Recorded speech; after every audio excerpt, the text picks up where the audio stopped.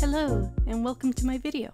I'm Tentabat, a not-safe-work artist, but that's besides the point. Today, I will be talking about Pokemon Mystery Dungeon DX, revealed in the Pokemon Direct. First of all, I've never been so happy for a Pokemon Direct before. This has gotten me so excited.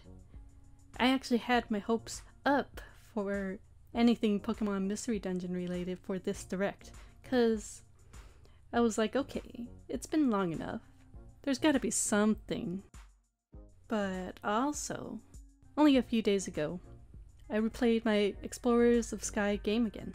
I'm really hoping to get all the way through Zero Island. Zero Isle. Zero Isle. Zero Isle South right now. Gonna try to go through with an Arbok. Anyways, I was ecstatic the moment I heard the. I couldn't wait to see what it what it was gonna be, and it ended up being a blue slash red rescue team remake. I was so excited for this. Finally, something. An actual mystery dungeon game. Now, I saw some tweets saying they were actually hoping for a new standalone game, but I actually think having a remake is even better, because I gotta say, I was not a fan of the last two games, that being Gates to Infinity and Super Mystery Dungeon. I didn't finish either, so I don't have the whole experience to actually review it, but I gotta say, it didn't even grasp me enough to actually finish it, so. Anyways, my point is, since they're actually trying to make the remake the first two games, maybe it'll be as good as the originals. But yeah, even after the excitement and joy after seeing the trailer, there was a little bit of worry in me. Uh, since uh, I saw the 3D models, it reminded me of the last two games, so it had me a little concerned. Now, I know they will absolutely not go back to the cute little pixel graphics, but ever since the games turned 3D, it always felt different, like control wise and the camera view, like it was hard to see the rooms and all that. Because it felt off, I haven't been too interested in, in the games because of that. Anyways, besides the 3D models, I think the visuals look gorgeous. The backgrounds look like the little title screens in the earlier games, and that visual style, it gives me a sense of adventure and a little bit of comfort. It's like seeing a storybook being unfold. I really appreciate that look. I also really appreciate the textured shadows on the 3D models to make it really look like they belong in that environment. But yeah, that's all I have to say. I'm really excited to get the game. It looks great and hope the link I hope the gameplay is just as good as the originals. Now just to wait till March. Wait. There's a demo? Two hours later. Alright, I'm back. And yeah, game's good. The demo is up till Diglett gets kidnapped, so you could play like three or four dungeons, and you get to visit the town and the bulletin board. It does have the personality tests at the beginning, but you can decline what you were chosen as and select the Pokemon you want. I did this. I was originally a timid Mudkip, but ended up picking Skitty because that's the first Pokemon I got when I first played Blue Rescue Team. I had Mudkip as a Pokemon partner when I first played, uh, but I opted for a Cubone this time, named Maro. The visuals were really pleasing, like I said, just out of a storybook.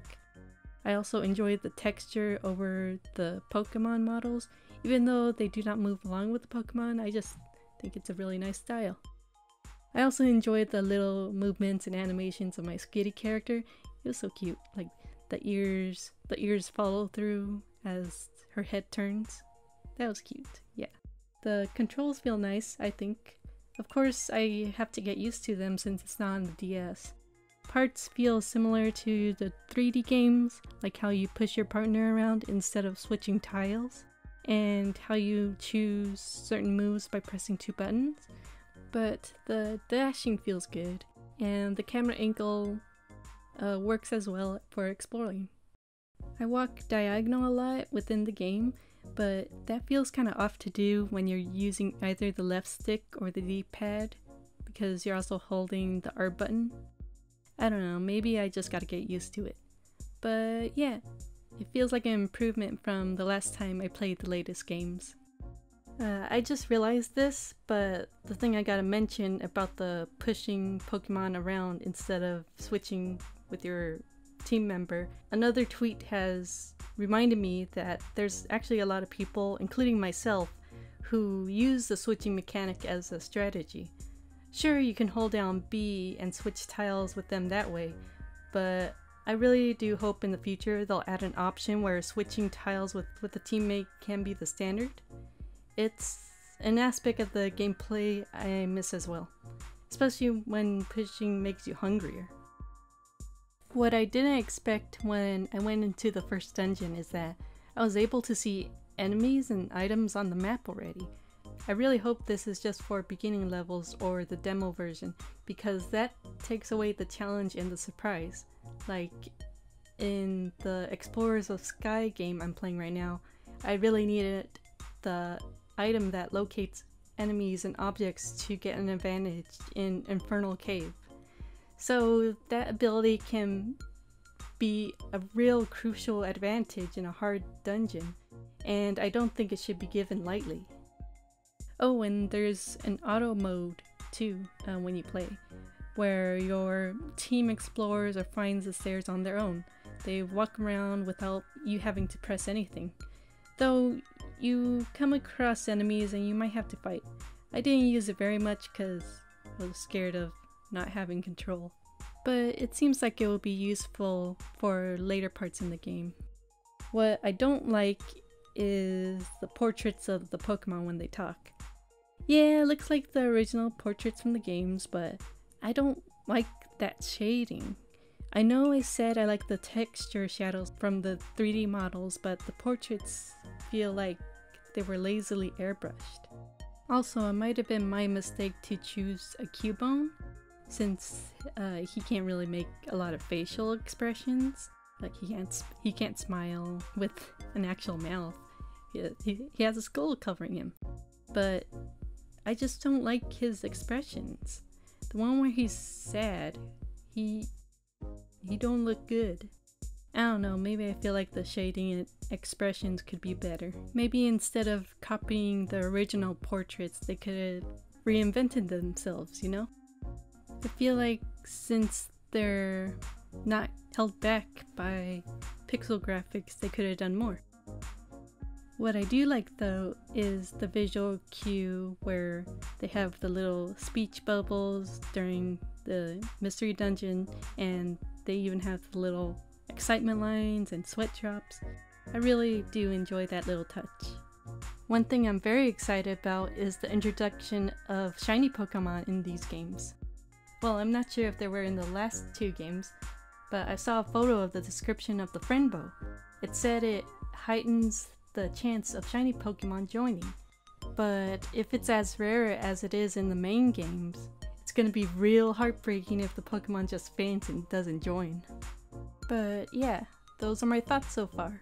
Obviously, I cannot wait to see the entirety of the game and what it has to offer. I got really good feelings by just playing the demo.